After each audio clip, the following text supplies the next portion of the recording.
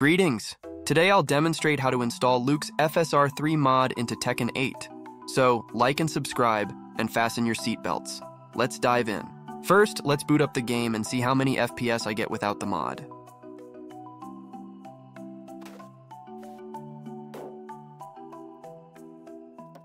It appears that the game is locked at 60 FPS. I'm using these settings, and I've also enabled the in-game FPS counter, as well as the MSI Afterburner overlay.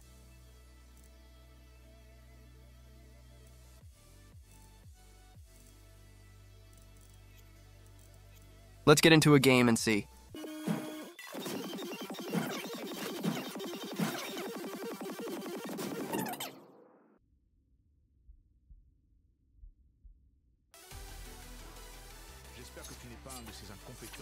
I'm maintaining a constant 60 FPS, although 1% and 0.1% lows are slightly lower. You can see my CPU and GPU usage is low. That means I could potentially have more FPS if there was no FPS cap.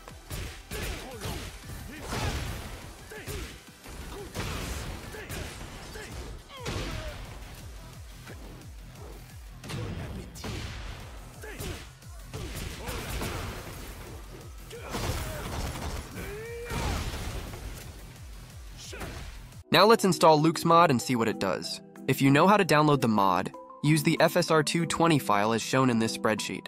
Go here if you want to know how to download the latest mod from Luke. For lazy people, go to the download link in the description and download this file.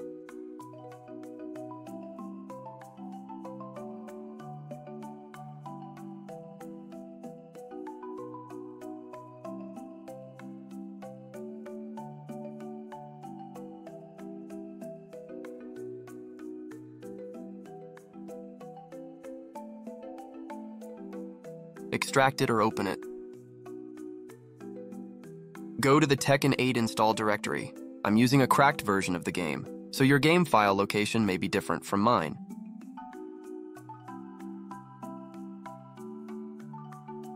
Copy these three files and that's it.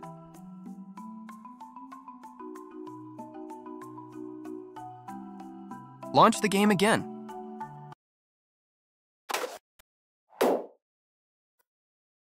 If you use FSR, the usual flickering issue will appear, but only in the main menu and subtitles. For general gameplay, it doesn't matter at all.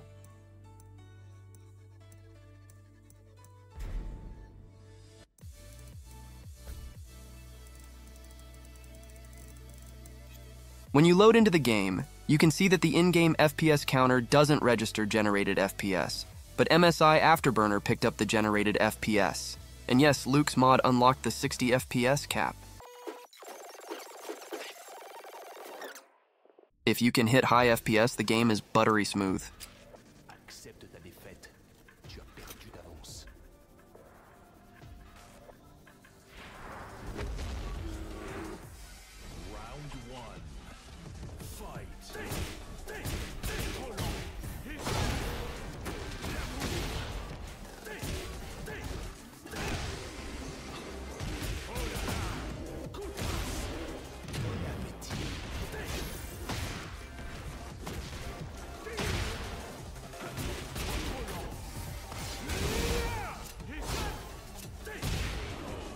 When switching to DLSS, flickering is gone, no more ghosting.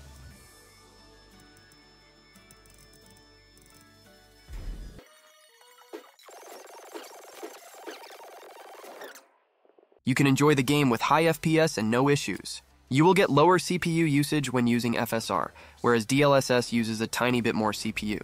So, expect some freezing and stutter issues if you have a low-end CPU like mine. You can also use Intel XeSS and more upscaling methods in the game settings menu. Play around with these settings and find out what is good for you. Okay then, enjoy the gameplay and don't forget to like and subscribe.